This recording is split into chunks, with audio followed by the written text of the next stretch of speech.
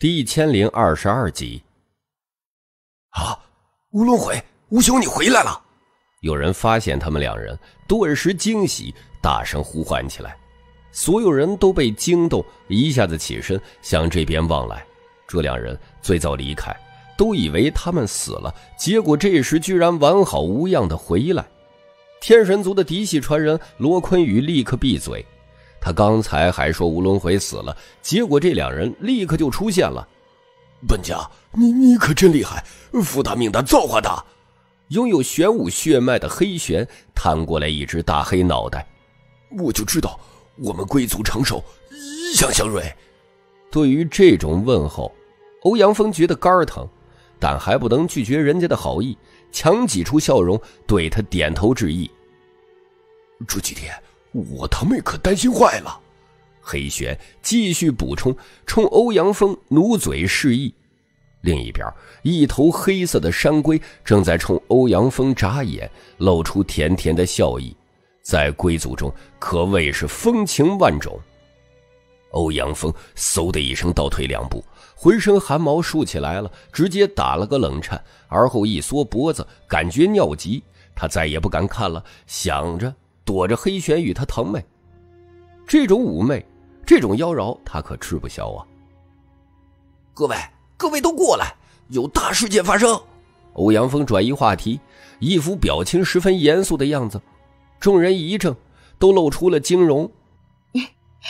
吴兄，欧野兄，你们回来了，正好，赶紧过来，我们正在谋一大事。这时。秦洛因开口，带着嫣然的笑容，亲自从远处走来，招呼楚风与欧阳锋，让他们过去。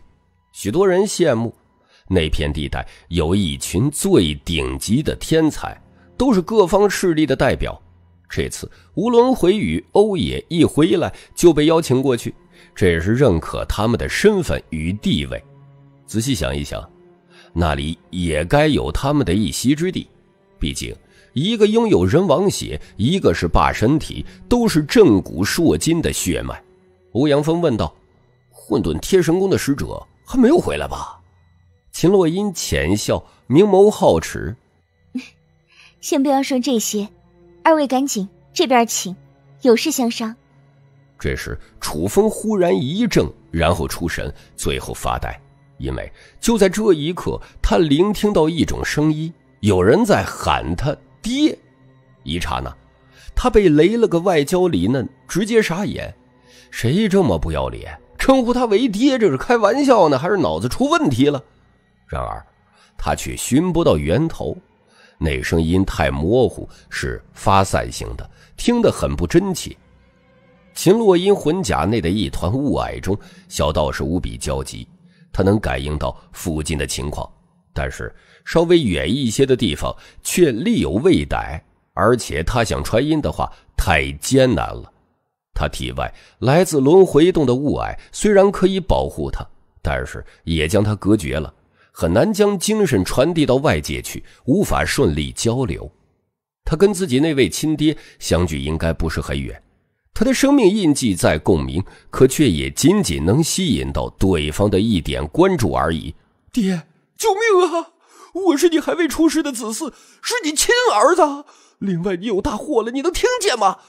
他大吼大叫，但是只传出一缕几乎可以忽略不计的精神，才到外界就散开了，断掉了。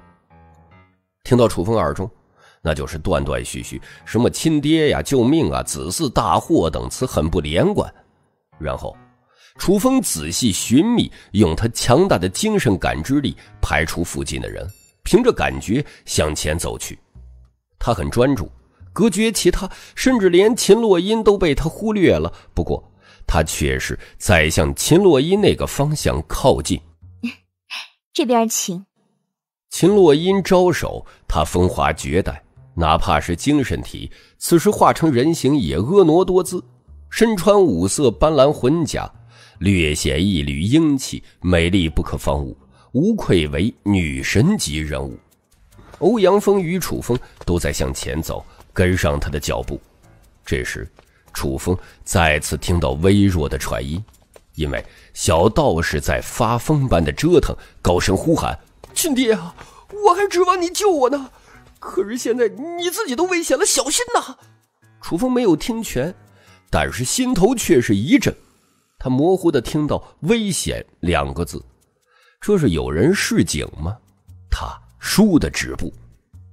与此同时，欧阳锋也听到黑玄暗中传音：“本家。”你问混沌天神宫的使者回来了没有？什么意思？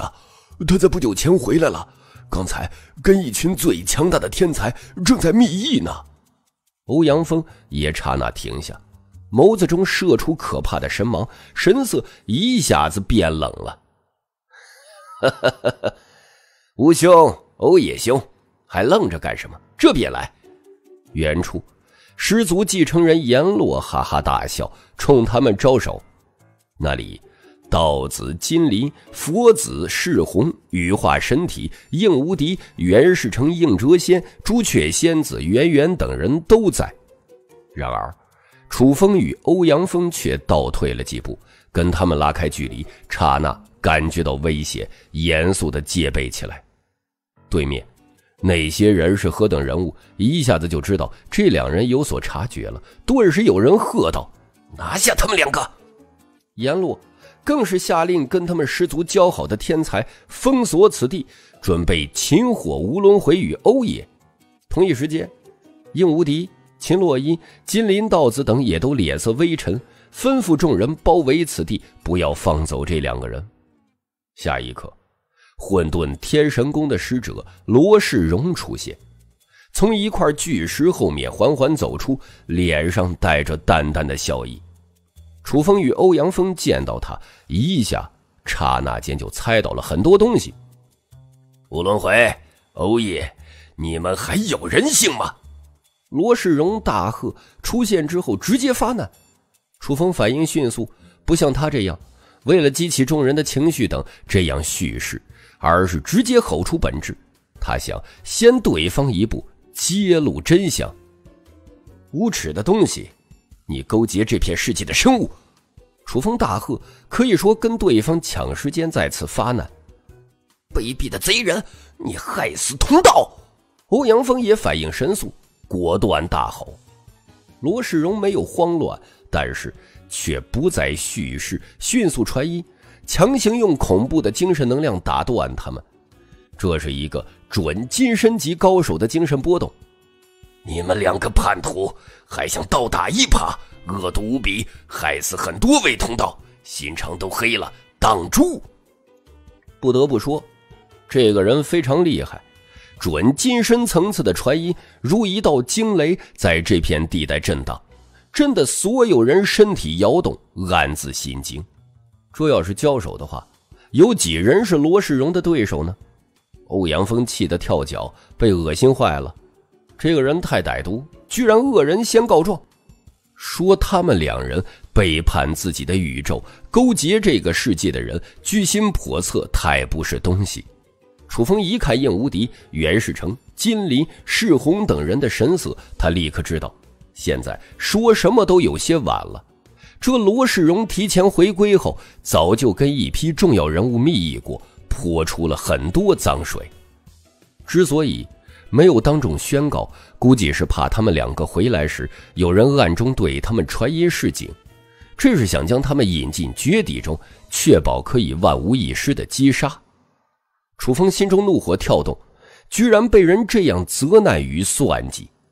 毫无疑问，罗世荣提前回归，占据绝对的优势与主动，一下子让楚风与欧阳锋处在十分危险的境地中。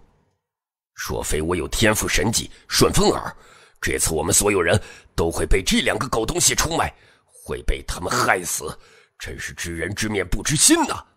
罗世荣在那里感慨，向大众解释，而事实上，他已经对金离、世红、应谪仙、秦洛音、袁世成等解说过了。